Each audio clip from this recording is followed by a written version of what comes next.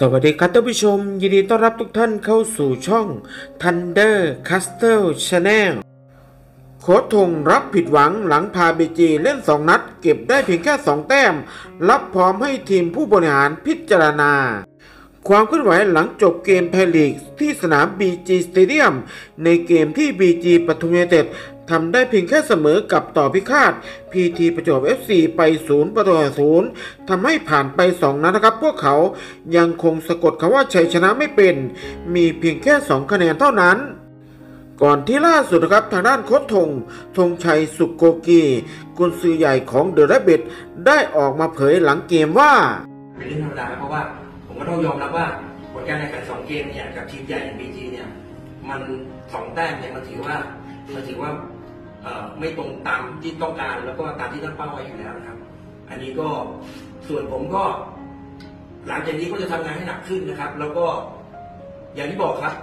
ผมพร้อมช่วยทีมเสมอ แต่ถ้าเมื่อไหร่ก็ตามที่ทีมมีความรู้สึกว่า ผมไม่เหมาะสม อันนั้นผมก็น้อมรับครับ ก็ต้องมาติดตามกันต่อไปนะครับว่าจากผลงานที่ผ่านมา จะทำให้โค้ชทงได้ไปต่อกับ BG หรือไม่ในอนาคตสำหรับโปรแกรมต่อไปของ BG ปทุมยูไนเต็ดนะครับ มีคิวที่จะลงทำศึก FC แชมเปี้ยนลีกในรอบเพลย์ออฟด้วยการบุกไปเยือนทีมเซี่ยงไฮ้พอร์ตสโมสรชั้นนำจากไชนีสซูเปอร์ลีก ในวันอังคารที่ 22 สิงหาคมนี้ เวลา 18นาฬิกา30 นาทีมาที่เรื่องต่อมานะครับ หัวใจสีน้ำเงิน ลุงเนวิน ชิดชอบเปิดใจก่อนพาบุรีรัมย์ เปิดช้างอารีนาพบลำพูนวอริเออร์ทัพปราสาทสายฟ้าออกสตาร์ทไทยลีกในฤดูกาลนี้ได้อย่างน่าผิดหวัง หลังจากพ่ายทรูแบงค็อกในแชมเปี้ยนคัพและในนัดล่าสุดนะครับ บุกไปเสมอกับขอนแก่นยูไนเต็ดศูนย์ประตูศูนย์และสถิติที่น่าตกใจไปกว่านั้นก็คือ ทีมบุรีรัมย์ยูไนเต็ดยังไม่สามารถ ยิงประตูคู่แข่งได้เลยตลอด 2 นัดที่ผ่านมา ก่อนที่ล่าสุดนะครับทางด้านลุงเนวิน ชิดชอบ ประธานสโมสรของบุรีรัมย์ยูไนเต็ดได้ออกมาเปิดใจผ่านเฟซบุ๊กส่วนตัว โดยมีใจความว่า ยินดีต้อนรับสู่ช้างอารีนา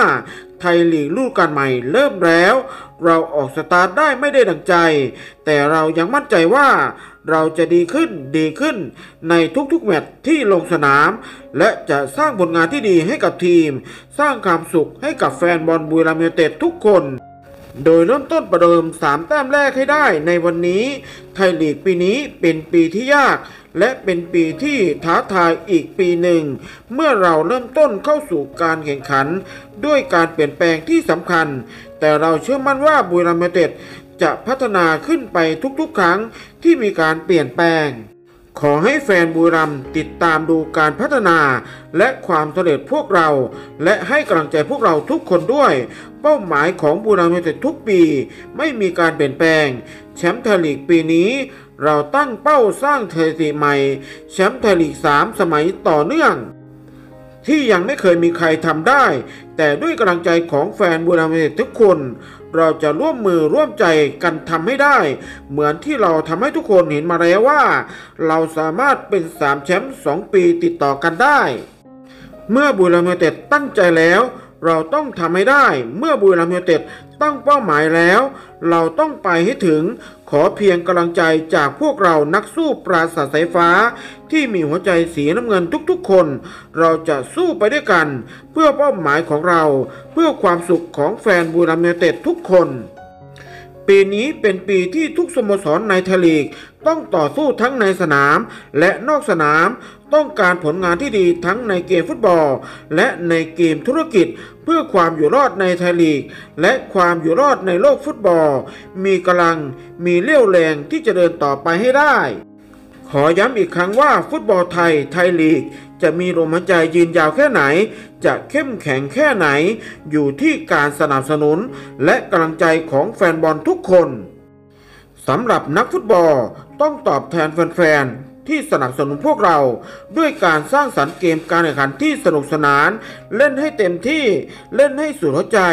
เล่นให้สมกับความเป็นมืออาชีพที่แฟนๆ ตั้งใจมาชมและมาเชียร์พวกเรา ช่วยกันรักษาฟุตบอลไทย